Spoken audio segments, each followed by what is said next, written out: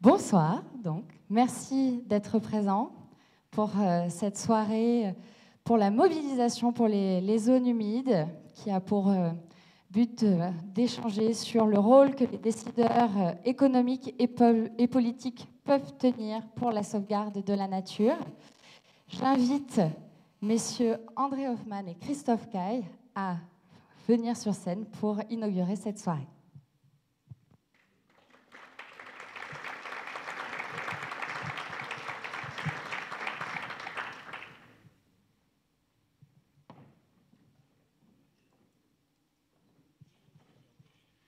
Euh, bonsoir tout le monde. Euh, euh, pour ceux d'entre vous qui ne me connaissent pas, mon nom est André Hoffman. Je suis le président de la Fondation Tour du Vala et aussi le vice-président de notre entreprise familiale, Hoffman La Roche, mieux connu en France sous le titre de Laboratoire Roche. je suis très excité d'être ici ce soir pour beaucoup de raisons.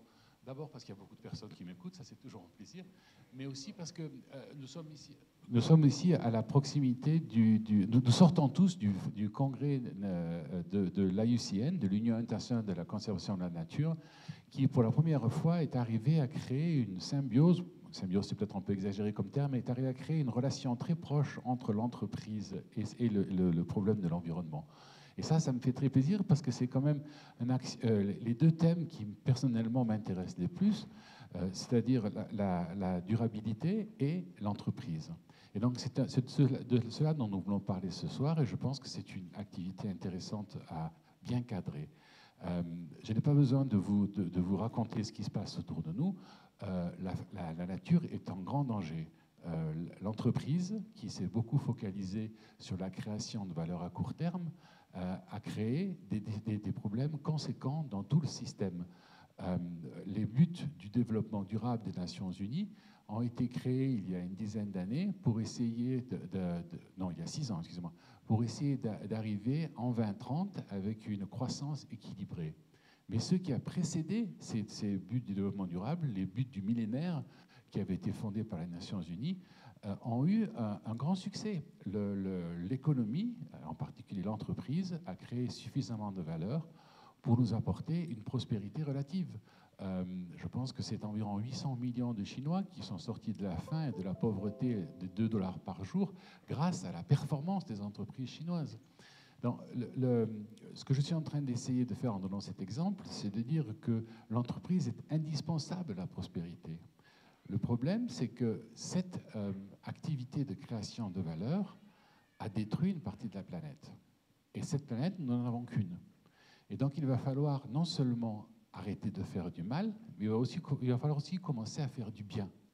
Alors, pourquoi est-ce que l'entreprise a détruit la planète? Parce qu'elle s'est concentrée sur un mauvais signal. Elle s'est concentrée sur la création de valeur à court terme. Alors, euh, j'ai quelques années d'expérience dans l'entreprise. Tout ça est basé sur la théorie qui avait été créée en 1970 par l'école d'économistes de Chicago, qui a défini l'entreprise comme étant l'instrument qui fait de l'argent. Hein. En 1978, prix Nobel d'économie pour Milton Friedman, basé sur un travail qui s'appelait The Business of Business is Business. Le travail de l'entreprise, c'est de générer de la valeur. Cette valeur est redistribuée à la société par les impôts et par les salaires. Et euh, la société doit ensuite corriger les excès ou les dommages collatéraux de la création de valeur. Aujourd'hui, on s'aperçoit bien que cela n'est plus possible. Et je pense que euh, la réalisation que l'entreprise peut aider à sauver la planète, euh, que l'entreprise peut aider à créer un climat propice à la création de valeurs durables, c'est-à-dire sur le long terme, est une évidence qu'on ne peut plus cacher. Et, c'est, euh, cet état de fait, cette espèce de changement historique me paraît absolument crucial. Et euh, ce, qui, me séduit le plus dans cette, cette aventure, c'est le fait que certains milieux deviennent subitement des contributeurs positifs. Vous avez probablement entendu parler des solutions basées sur la nature. Euh, euh, les zones humides telles que nous les avons définies à la Tour du Vala et telles que, que l'on pratique dans la région sont des solutions à des problèmes de développement. Euh, le cycle de l'eau, qui est le cycle le plus important, surtout en Méditerranée, avec la différence entre le sud et le nord, pourra être géré de manière plus efficace par des zones humides fonctionnelles, des zones qui peuvent stocker de l'eau, qui peuvent purifier de l'eau, qui peuvent, qui peuvent amortir les variations de niveau, donc les, crues et les décrues, que, par des circonstances artificielles. Notre, système jusqu'à maintenant a été de dire l'eau est un danger, la zone humide sent mauvais, on va drainer les zones humides et on va canaliser l'eau, avec le résultat qu'on perd un petit peu le contrôle et que ça coûte une fortune. Donc comment est-ce qu'on peut arriver à créer de la valeur sur le long terme? Les solutions basées sur la nature augmentent la résilience des systèmes et en même temps permettent une gestion plus appropriée des ressources naturelles. Alors, nous, aurons deux tables rondes cet après-midi qui nous permettront d'aller un petit peu plus en détail dans cette thématique-là. Mais juste euh, en, termes généraux, euh, je me réjouis profondément que l'entreprise va venir aider la planète avec ces, approches de, durabilité. Ce que nous essayons de faire maintenant, c'est de nous débarrasser du modèle du court terme pour aller vers le long terme. C'est aussi simple que ça. Euh, l'important, c'est que nous arrivions à continuer à générer de la valeur en diminuant les risques, augmenter la résilience des systèmes et créer de la valeur à long terme. Voilà, je crois que j'ai dépassé mes trois minutes, mais euh, merci à tous.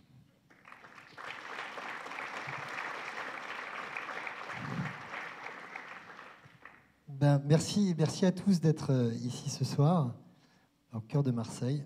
Ça me fait plaisir d'être là ici. Euh, merci d'être dans ce fabuleux bâtiment euh, de l'Intercontinental.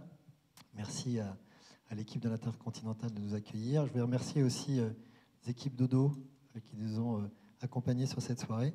Je voulais remercier aussi toutes les équipes d'entrepreneurs pour la planète pour l'organisation de cette soirée avec les équipes de la Tour du Balin et pour le, travail qui a été fait euh, pour le congrès du UCN, parce que euh, c'est un congrès euh, important, c'était un événement important pour, pour l'association, l'association est récente, et donc un événement comme celui-ci, ça marque une étape pour une, pour structure comme la nôtre. Donc merci à vous tous d'être ici pour placer, parler de la place de l'entreprise, des entreprises dans la transition écologique.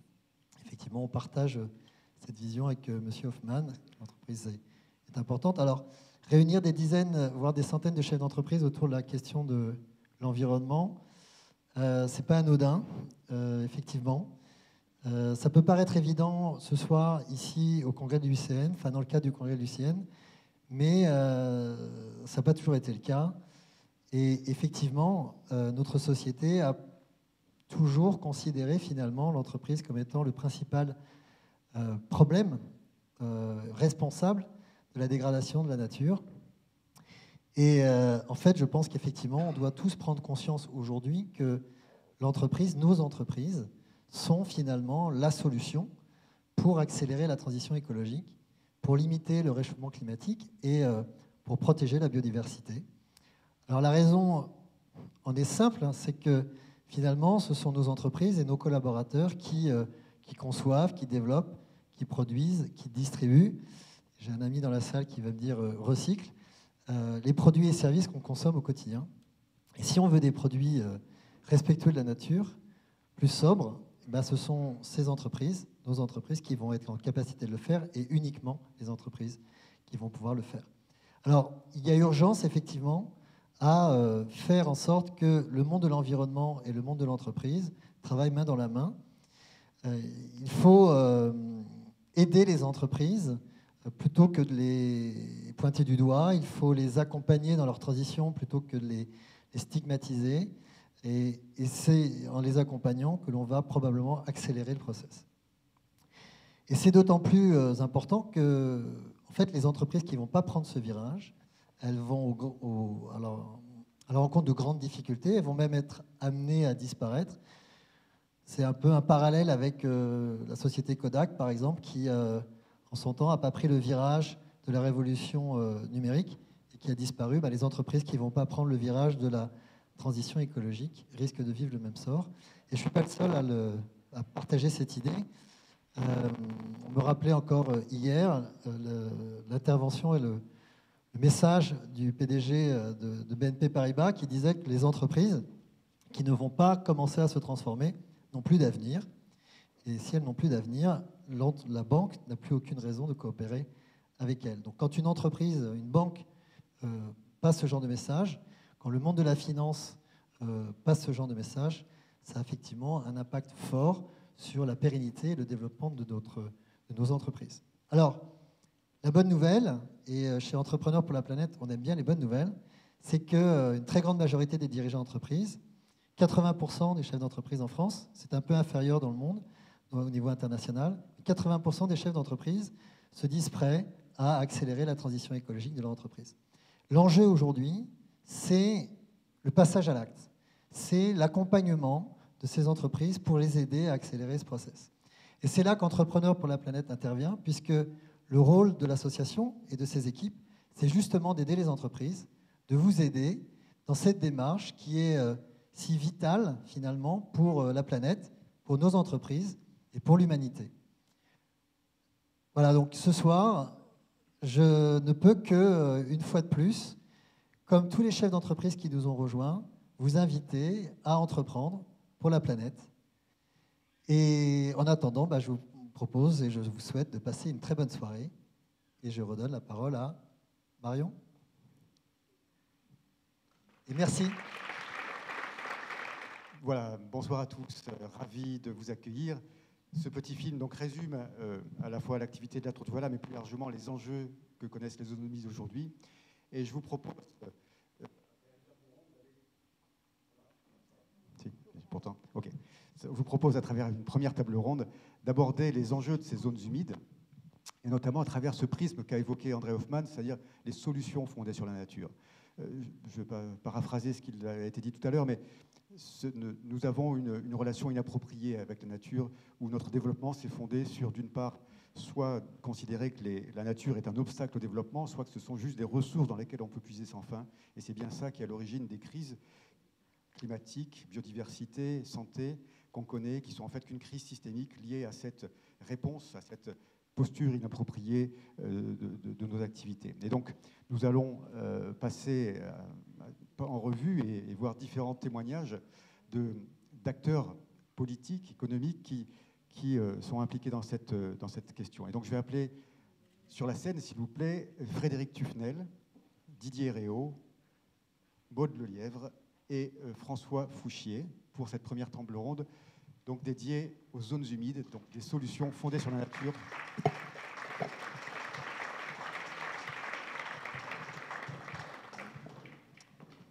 Prenez place, je vous en prie.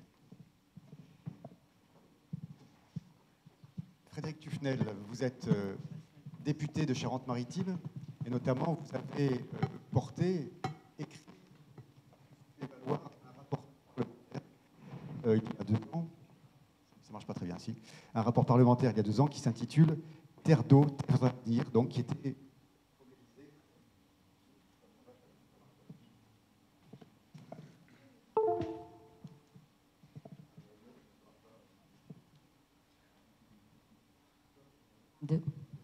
vraiment.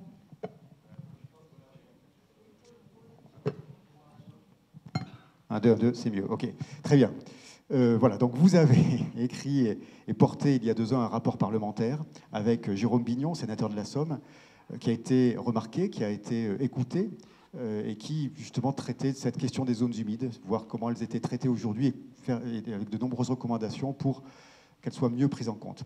Je voudrais en quelques minutes que vous puissiez nous dire parmi toutes vos recommandations, quelles sont selon vous les recommandations clés qui permettent de mieux faire prendre conscience du bénéfice sociétal de ces zones humides? Et ensuite, dans ces recommandations, quels sont, selon vous, les, leviers et les obstacles euh, dans la société pour que cette prise en compte des zones humides se fasse euh, le mieux possible?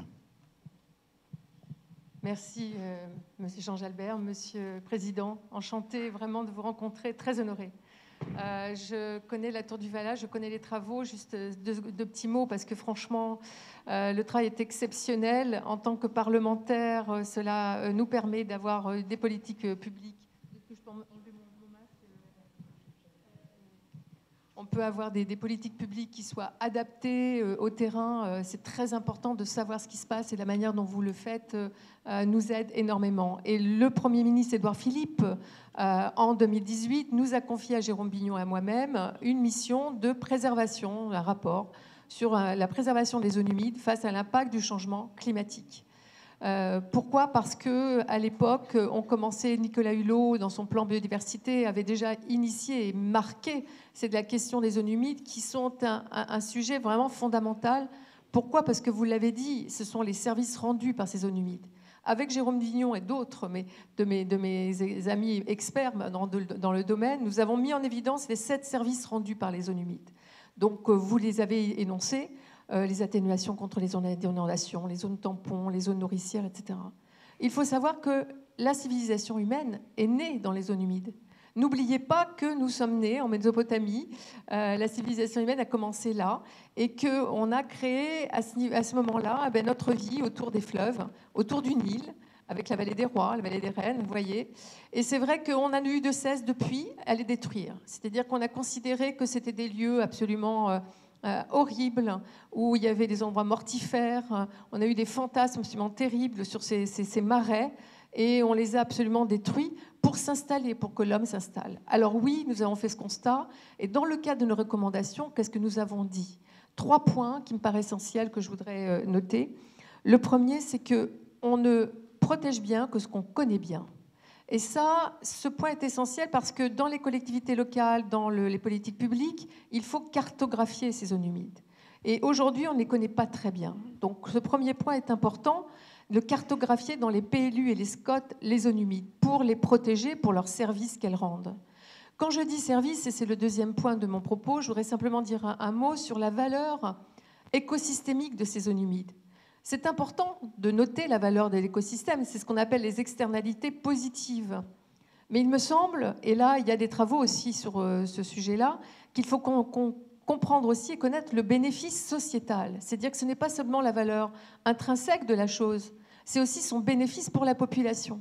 Et donc il faut prendre en compte ces deux éléments, à la fois la valeur de l'écosystème, même dans les entreprises, je veux dire qu'il y a une valeur qui est réelle, que l'on peut calculer, mais aussi ce bénéfice sociétal qui n'est pas mesurable, qu'on a du mal à comprendre parce qu'il est bon pour les sociétés en termes de, de, repos, euh, de la biodiversité, de lieux nourriciers, parce que ça apporte de l'alimentation. On se nourrit dans les zones humides, on respire dans les zones humides, on apporte de l'humidité, on apporte des lieux de repos et de fraîcheur. Et puis le troisième point, pour terminer, pour pas être trop long, euh, ce que je voudrais dire, c'est que euh, les bienfaits, ils sont aussi euh, paysagers. C'est des lieux de bienfaits absolument extraordinaires où vous pouvez vous balader, où le tourisme peut être développé. Mais dans le cadre de, ces bienfaits, on voit bien qu'il ne faut pas regarder ces zones humides comme un paysage, comme une carte postale, comme un urbain qui regarde simplement un paysage. L'important, c'est de s'emparer de ce vivant. C'est-à-dire qu'il faut, moi, à mon avis, et on l'a vu dans le cas de nos travaux, c'est regarder le bénéfice en termes d'apport personnel, individuel. Je vais vous donner un exemple. Moi, je suis de Charente-Maritime. Et donc, euh, j'ai la chance euh, d'avoir euh, dans Charente-Maritime, à La Rochelle, certainement vous connaissez, il y a un engagement sur territoire zéro carbone horizon 2040. Eh bien, les entreprises, les collectivités locales s'engagent à avoir un territoire autonome demain. Et ils ont préservé un marais, le marais de Tadon. Donc, j'ai amené un peu la photo ici, mais vous ne la verrez pas le marais de Tadon, qui est absolument incroyable parce que c'était un lieu qui est situé entre un centre commercial qui devait s'agrandir et La Rochelle. Eh bien, ce lieu était voué à disparaître. Un lieu de marais de 123 hectares, 15 euh, habitats naturels identifiés, 6 remarquables, 154 espèces d'oiseaux, etc., etc. Eh bien, le maire de La Rochelle a pris la décision de garder cette zone tampon qui est en bord de littoral pour nous servir justement de, de, zone, d'inondation demain euh, s'il y a besoin. À un moment donné, il faut savoir laisser la mer rentrer. On ne peut pas endiguer toute la France, la côte atlantique ou la côte méditerranéenne, je suppose. On ne peut pas. Il faut à un moment donné avoir ces espaces de repos et d'inondation qui sont euh, essentiels. Donc euh, voilà, c'est un exemple que je voulais vous donner parce que au moins les habitants sont associés aussi. Le bénéfice sociétal, il a été reconnu par les Rochelais. Euh, les entreprises sont associées à ce projet avec le maire de La Rochelle, la communauté d'agglo, les associations, les, entreprises environnementales. Et donc on espère avoir un vrai projet ensemble, tous ensemble, qui soit bénéfique pour tout le monde. Et les zones humides sont centrales, elles sont au milieu de notre vie. Voilà, ce sont des terres d'eau et donc des terres d'avenir. Je vous remercie.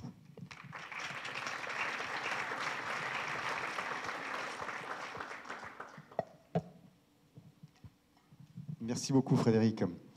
Je vais me tourner vers Didier Réau. Didier, vous, êtes, vous avez beaucoup de, de, responsabilités diverses. Vous êtes président du Parc national des Calanques, vous êtes président de Rivage de France, une association de gestionnaires d'espaces naturels côtiers, mais vous êtes responsable de la gestion des milieux aquatiques et de l'eau et de la présentation au niveau de la métropole. Mais je voudrais venir vers une, une délégation particulière. Vous êtes également vice-président du conseil départemental des Bouches-du-Rhône, en charge de l'agenda 2030, des risques majeurs et des solutions fondées sur la nature. Alors là, à ma connaissance, vous êtes le premier élu d'une collectivité à avoir une délégation qui s'intitule Solutions la nature, et je crois savoir que c'est vous-même qui l'avez souhaité, voire exigé. Et j'aimerais savoir pourquoi avoir choisi cet intitulé, et concrètement, comment ça se traduit dans les Bouches du Rhône. Merci Jean euh, de, signaler cette, euh, cette délégation qu'effectivement j'ai souhaité et fortement recommander, non pas exigé à la présidente Martine Vassal au moment du renouvellement euh, cantonal qui a eu lieu, enfin départemental, qui a eu lieu euh, récemment.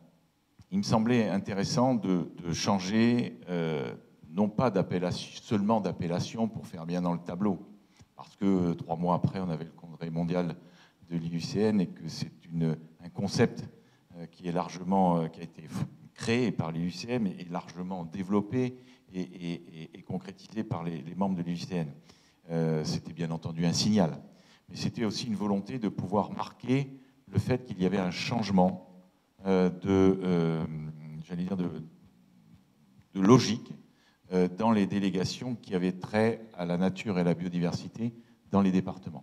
Généralement, on était sur, en gros, la logique des espaces naturels sensibles, les domaines départementaux, tout ça étant constitué de 17 000 hectares sur le, département des Bouches-du-Rhône, donc quand même très important, mais faisant l'objet d'une gestion plutôt statique, si je puis dire, foncière, euh, certes avec des opérations de biodiversité, mais on gérait nos domaines, nos espaces naturels, et puis on avait considéré qu'on était bien. Alors parfois, on avait un partenariat avec euh, le Conservatoire du Littoral, avec d'autres gestionnaires comme le Mavari du Viguera. Je ne vais pas tous les citer, les parcs naturels régionaux, bien entendu, mais tout ça n'était pas orienté vers une politique publique proactive. Deuxième point, euh, le département des Bouches-du-Rhône et la métropole Aix-Marseille-Provence partagent sensiblement le même territoire. Euh, à part la Camargue et euh, le nord du département, le reste est, identique. Sur 119 communes dans le département, 92 font partie de la métropole. Donc, on, ayant cette délégation de la gestion des milieux aquatiques et de la prévention des inondations, de la fameuse GEMAPI, à la métropole, de l'eau, de, de, la mer, du littoral, euh, il me semblait intéressant également qu'on ait une convergence euh, des deux politiques publiques, euh, départementales et métropolitaines. C'est évident. D'un côté, pour simplifier les choses, le département sur la capacité d'avoir des trames vertes ambitieuses, et bien entendu avec la gestion des bassins versants, des cours d'eau euh, et du littoral, euh, pour la métropole d'avoir une trappe bleue également ambitieuse. Euh, l'idée n'étant pas seulement d'avoir ces deux points verts et bleus sur la carte, mais de pouvoir les densifier, de pouvoir les étendre et surtout les mettre en connexion. Donc la logique a été parfaitement perçue par Martine Vassal et, bien entendu elle s'est liée au risque majeur, parce que, comme euh, euh, l'a dit Madame la députée, euh, nous sommes effectivement dans, une logique où, les risques majeurs, s'ils ont toujours existé dans les délégations des collectivités, ont été un peu des délégations qui étaient marginales. Aujourd'hui, ça devient de plus en plus prégnant et central dans l'organisation de nos territoires à tel point que dans le prochain SCOT que nous sommes en train d'élaborer à la métropole, euh, à la fois les risques majeurs, à part les avalanches, ici nous n'en avons pas, euh, à part les avalanches, euh, les risques majeurs seront un élément central du SCOT. Et de fait, les éléments de nature et de biodiversité qui sont des solutions pour lutter contre ces risques majeurs. Alors voilà un peu la logique de, cette délégation. J'en suis très fier parce que effectivement, ça permet de placer ce territoire, bien sûr, en, concordance avec euh, ce congrès mondial qui, euh, qui, met en valeur des, territoires, euh, des, espaces de ce territoire, hein, bien sûr le parc national des Calanques, mais aussi le grand site Sainte-Victoire, les parcs naturels régionaux, évidemment la, Camargue dans son entièreté, le parc naturel marin, de, le parc marin de la Côte Bleue, euh, mais qui doit nous faire aller beaucoup plus loin et, considérer que nous avons encore beaucoup de travail. Beaucoup de travail sur les temps de berre, qu'on considère comme zone humide ou pas, tout autour, il est, bien, il est bien question de zone humide. Si on prend les temps de Beaulemont, les propriétés du conservatoire du littoral comme euh, la poudrerie à Saint-Chamas ou la petite Camargue, ce sont évidemment des zones humides et qui nous permettent justement euh, qui nous permettent de nous rendre des services dans le traitement de l'eau euh, qui, ruisselle ou qui vient des, rivières, de façon à ce que ça soit un tampon et que ce soit aussi un, élément qui, qui, nous permet d'avoir une meilleure qualité d'eau. Il faut bien le prendre en considération. Et puis pour le département, évidemment, le soutien euh, à la fois financier, technique des équipes du, département, euh, aux gestionnaires euh, des sites ou du Conservatoire du littoral ou même de la SNPN ou d'autres acteurs qui sont présents sur la Camargue. Il y a des difficultés, il ne faut, pas les, négliger. la propriété foncière est, importante pour l'ensemble de ces acteurs. Elle est très présente en termes de propriété publique. Euh, il faut que nous trouvions des solutions de, financement, de bonne gestion euh, de ces zones humides, qui ont été certes euh, non pas délaissées, mais un peu reléguées là où elles sont, c'est-à-dire au bout de la terre souvent, et qu'on pensait que finalement, avec les aménagements que nous avions faits, très infra, on va dire, on pouvait se protéger de tous les risques. C'est le cas, par exemple, au, Sainte-Marie-de-la-Mer, qui est, une ville en grand danger et qu'il faudra bien imaginer d'autres solutions que de monter, pas d'année en année, mais de décennie en décennie, euh, des digues qui, à un moment donné, ne pourront plus euh, fonctionner. Les travaux ont déjà commencé avec le Conservatoire du littoral, avec la Tour du Valat, avec d'autres gestionnaires euh, qui doivent se perfectionner, qui doivent encore plus comprendre comment, ces zones humides peuvent nous rendre service et surtout sensibiliser l'ensemble des financeurs à ce qu'il y ait une gestion euh, ça ne peut pas, euh, ça ne peut pas, rester comme ça. Je reprendrai l'image que j'ai donnée au président de la République sur euh, les aires marines protégées. Tracer des traits sur une carte, c'est toujours très simple. Mettre des pourcentages au milieu aussi. Mettre des points qui bougent, qui sont les hommes et les femmes qui gèrent ces aires protégées, ça devient beaucoup plus compliqué. Par contre, c'est absolument utile pour que ça fonctionne dans le parc national des Calanques sur une aire marine protégée qui a 10 ans à peu près, hein, euh, de haute protection, on a multiplié la biomasse par 3. Donc ce n'est pas anodin. Et dès la première année, la progression a été extrêmement importante. Donc il faut que nous, et, elle s'exporte sur d'autres aires qui sont moins protégées. Voilà, donc il faut absolument qu'on ait euh, maintenant la, réflexion, et bon, je suis ravi que euh, la secrétaire d'État à la biodiversité l'a annoncé, c'est la, réflexion sur le financement de l'ensemble des aires protégées et les humides doivent être considérées comme des aires protégées.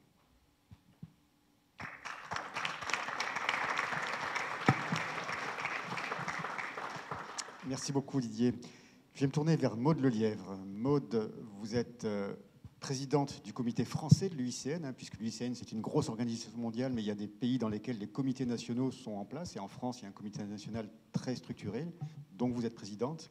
Et puis, un scoop, vous êtes depuis quelques heures, vous avez été élue conseillère régionale pour l'Europe de l'Ouest de l'UICN, donc euh, toutes nos félicitations. Et vous êtes également euh, secrétaire général des Écomères, donc il y a un, mouvement pour les collectivités engagées dans le développement durable et pour l'environnement. Je voudrais vous questionner en tant que présidente du comité français, et notamment sur, ce concept de, solutions fondées sur la nature, hein, donc des, actions de gestion des écosystèmes qui permettent à la fois de répondre aux défis sociétaux que sont le changement climatique, l'approvisionnement en eau, la sécurité alimentaire, mais aussi répondre à la sauvegarde de la biodiversité. C'est un concept qui a été élaboré, comme l'a rappelé Didier Héréo, dans le cadre de l'UICN, qui a été beaucoup développé par le comité français. C'est une des organisations au niveau mondial qui a beaucoup porté ça. Euh, comment on passe du concept à la réalité? Comment le comité français peut être un acteur pour ne pas rester dans des sphères un peu théoriques entre théoriciens d'un concept un peu fumeux parfois? Comment est-ce qu'on peut en faire un outil opérationnel pour changer la donne, pour que cette biodiversité soit enfin sauvés et que les bénéfices des hommes soient, soient préservés également. Merci, euh, merci Jean-Jalbert, euh, merci Monsieur le Président. Euh, c'est vraiment avec un grand plaisir que je suis avec vous ce soir dans le cadre du Congrès mondial de l'UICN parce que la Tour du Vala est un acteur absolument essentiel de la préservation de la nature et en France et au-delà apporte un apport intellectuel, scientifique, pragmatique dont nous avons besoin au niveau international. Donc l'Union internationale de conservation de la nature qui est réunie euh, chez vous à Marseille. C'est 160 États, c'est 1387 euh, organisations, 15 euh, 000 experts de haut niveau, 50 000 experts associés qui, depuis 73 ans, réfléchissent et font non seulement des déclarations avec de grandes perspectives, mais aussi définissent des plans d'action qui s'appliquent au niveau local, mettent en place des outils parmi lesquelles euh, celles que vous évoquez, euh, les solutions fondées sur la nature. Euh, je vais faire un petit retour historique. Didier Réau en a parlé brièvement. Cette idée de pouvoir s'inspirer de la nature, de retrouver, de retourner à l'origine, de découvrir des solutions qui s'appuient sur les écosystèmes pour relever les défis globaux que nous avons devant nous, en particulier ceux de l'érosion de la biodiversité. C'est une réflexion qui est partie du comité français d'un certain nombre d'acteurs internationaux euh, en 2005, euh, qui a évolué de façon euh, assez rapide et puis qui a donné lieu ensuite à des grandes orientations au moment du congrès d'Hawaï qui a précédé le congrès que, nous avons ici aujourd'hui à Marseille, parce que l'UICN, c'est quelque chose qui pose des questions, mais apporte des solutions. Et les solutions fondées sur la nature en font partie. Nous avons euh, besoin, euh, la députée euh, Frédéric Tufnel l'a rappelé, d'avoir une amélioration de la connaissance. C'est absolument indispensable.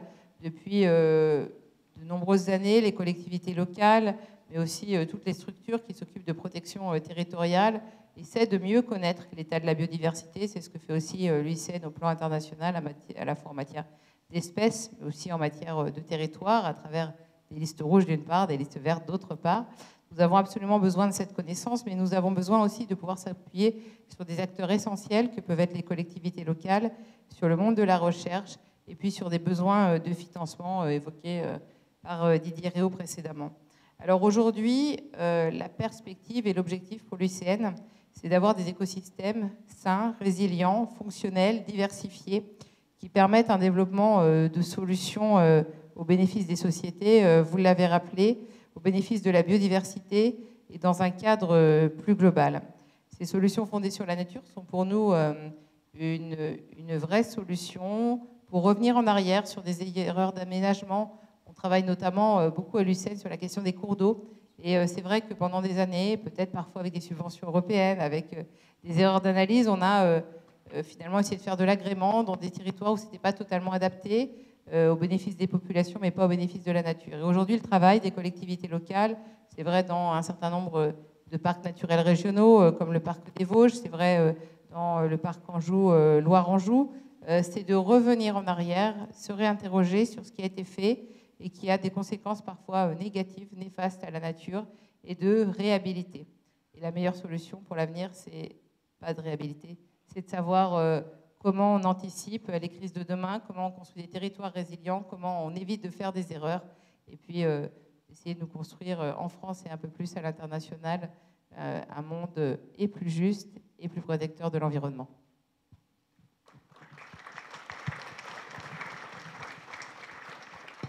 Merci beaucoup, Maude. Dernier intervenant, je me tourne vers François Fouchier. François, vous êtes euh, délégué régional PACA, donc Provence-Côte d'Azur du Conservatoire du Littoral. Le conservatoire achète des sites sur la côte, euh, des sites qui sont souvent sur la ligne de front des changements climatiques, sur lesquels le conservatoire, euh, en tant que propriétaire, confie la gestion à des partenaires, communes ou associatifs, et qui se retrouvent confrontés à, justement à ces changements climatiques, à ces pertes de biodiversité. Comment est-ce que sur des sites du conservatoire, vous pouvez justement être des acteurs de cette mise en œuvre de ces solutions françaises de la nature? Comment est-ce qu'on peut renverser la tendance par la gestion la plus juste de ces sites côtiers? Oui, merci euh, de, nous faire intervenir. Et c'est vrai qu'on a, depuis 1975, tissé des, liens à la fois avec les collectivités territoriales, parce que comme ça a été rappelé, euh, nous ne sommes pas gestionnaires des terrains qui sont préservés euh, pour toujours, hein, puisque les terrains du conservatoire sont inaliénables, mais aussi avec un grand nombre de partenaires, de structures, de co-gestionnaires. Et bien sûr, la Tour du Valat en, fait partie dès l'origine, et, on s'inscrit là-dessus. Et plus particulièrement lorsque on est euh, sur les zones humides. L'agence de l'eau aussi est, un partenaire. Euh, c'est pas pour nous, c'est pas un partenaire financier, c'est un partenaire méthodologique, de conviction. Combien de fois on se retrouve euh, dans les mêmes réunions, les mêmes, les mêmes dilemmes à, défendre finalement ce qu'on appelle aujourd'hui les solutions fondées sur la nature et qui ne sont pas une évidence du tout. Et moi, je me réjouis que le terme euh, devienne, euh, rentre dans le vocabulaire commun euh, des uns et des autres. je crois qu'on peut s'en réjouir, mais on a un, vrai travail de conviction à faire parce que ce n'est pas évident du tout. Le Conservatoire du littoral visait, dès l'origine, à la préservation de ce qu'on appelle le tiers sauvage. on n'en parle plus du tiers sauvage. Heureusement que maintenant des chercheurs, le CNRS, nous accompagnent, dit mais reprenons le sauvage, parce que c'est réellement ça. Et on a peur du sauvage comme on a peur du risque. Et, euh, euh, quand on a peur, euh, on ne fait pas forcément les meilleures choses. Et qu'est-ce qu'on fait depuis 50 ans? C'est que quand on est inondé, on se protège contre l'inondation, on met des digues. Lorsqu'on nous parle de submersion marine liée au changement climatique ou pas, du reste, parce que ça fait 50 ans qu'on tartine le littoral parce qu'on a peur de la mer, et en plus on s'installe dans ces zones à risque, et donc on construit. Et euh, je pourrais en passer d'autres, puisque là, euh, même si on est sur les zones humides, euh, c'est vrai que le choc sur les, les, forêts qui brûlent, en Amazonie, on en veut à ceux qui mettent le feu à la forêt, en France, on en veut à la forêt qui brûle. Donc en fait, on voudrait une forêt domestiquée. Et, et du coup, ce qu'on appelle un couloir de feu, c'est un couloir écologique. Et pareil pour les zones humides, L'idée, c'est qu'on voudrait domestiquer finalement l'ensemble de ces espaces. Et combien euh, d'approches méthodologiques portées par la Tour du Vala, l'Agence de l'eau, essayent d'être dans un travail de conviction. Et si j'ai la parole aujourd'hui, c'est peut-être pour parler à ceux qui, euh, comme les entrepreneurs, c'est vous donner envie. Vous donner envie euh, parce qu'on a besoin de vous, ça a été dit, et c'est sincère. Et on a besoin de la société entière pour changer alors de culture, euh, de logique, de paradigme, c'est le mot utilisé par le président de la République euh, à l'inauguration de, ce congrès. Euh, et, donc du coup, c'est ensemble qu'il faut porter ce message. Parce que l'idée, d'abord, il y a des opérateurs. Hein, le conservatoire n'est pas une administration, on est un opérateur de mission.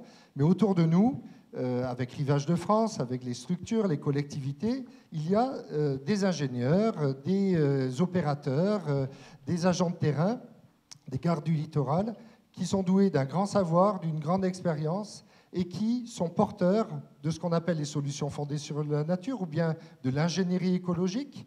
Et tantôt, c'est la restauration d'une zone humide qui avait été abîmée.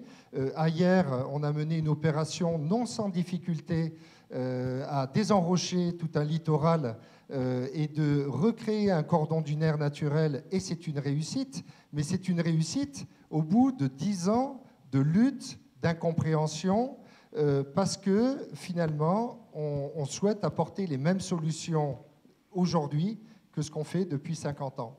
Et si on change de paradigme, c'est qu'il y a vraiment une prise de conscience, on doit changer notre regard, notre façon de penser. Une forêt brûle, il ne faut pas forcément la replanter. Ça part d'un bon sentiment, mais ce n'est pas ça. Il y a une inondation, ce n'est pas forcément de mettre une digue et de se protéger contre ces espaces-là. Et, on parle aussi à nos gestionnaires. Un gestionnaire qui subit une crue, eh ben, c'est un peu la désolation tout de suite après la crue. Mais n'empêche qu'un an, deux ans après, c'est un bienfait.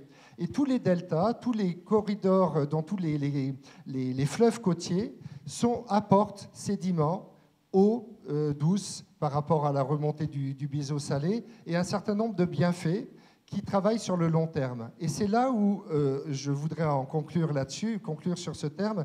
Le plus grand il y a un malentendu sur les solutions, ça c'est clair, les solutions euh, d'interventionnisme qui coûtent cher à la société et d'investissement et d'entretien. Les solutions fondées sur la nature, durablement, sont beaucoup moins chères, mais on travaille sur le long terme. Et ça, euh, c'est ce, croisement de regard sur la temporalité de l'action est une difficulté au niveau politique, parce qu'on dépasse largement un mandat. Elle est un problème pour les gens, le citoyen, qui a envie de voir des choses concrètes, et il attend ça. Et comment on change euh, cette, mentalité C'est qu'il y a besoin d'échanger, de travailler, je crois savoir aussi, par exemple, que les entreprises sont très investies depuis les années 60 dans le fonctionnement de l'agence de l'eau. L'agence de l'eau, en tant que partenaire méthodologique, financier aux côtés des solutions fondées sur la nature, sont fondamentales. Et le choix entre des opérations très interventionnistes qui sont nécessaires sur des bassins de rétention, sur, euh, et on en a fait hein, parce que c'est indispensable, mais c'est souvent lié à des pertes de champs d'expansion naturels de crues qu'il faut peut-être essayer de reconquérir. Et ça, c'est des éléments pour lesquels on a besoin des uns et des autres. Et enfin, euh, sur la question des moyens également, puisqu'il y a de l'argent public, il y a de l'argent euh, privé qui contribue à ces éléments, et puis un savoir-faire de l'entreprise qui peut être très riche pour les opérateurs comme nous, euh, c'est que dans des deltas, je pense des embouchures, et je pense notamment en Camargue, euh, revenir euh, à, la naturalité, à la fonctionnalité naturelle d'un delta, eh ben, ce n'est pas possible dans les 30 ans qui viennent, parce que tout a été euh, aménagé, endigué. Et donc, ce n'est pas aussi simple que le long d'un cours d'eau de dire j'investis, je, rouvre un espace en zone humide et je laisse une libre évolution, ce qui est demandé par notre conseil scientifique. Notre conseil scientifique, il nous dit ben, au conservatoire du littoral, allez en libre évolution. Mais euh, la difficulté, c'est que quand on est sur le terrain, quand on est avec des acteurs locaux, eh ben, la libre évolution pure, eh ben, elle n'est pas encore atteignable sur le court terme et sur le moyen terme. Peut-être à long terme. Et donc là, on a besoin d'hommes et de femmes, comme ça a été dit par Didier Réau, sur le terrain, qui sont des ambassadeurs qui défendent les zones humides et qui peuvent les gérer dans un système qui est ni naturel ni artificiel. Et ça, c'est une difficulté majeure de cette transition. On parle beaucoup de transition, être en transition. Mais cette période de transition demande vraiment un accompagnement très spécifique. En tout cas, au monde de l'entreprise qui est ici réuni, j'ai envie de vous donner euh, envie de dire il y a des gens compétents, des organismes, il y a des opérations qui peuvent être menées et il y a un brassage de culture à faire qui me semble tout à fait passionnant pour les années à venir.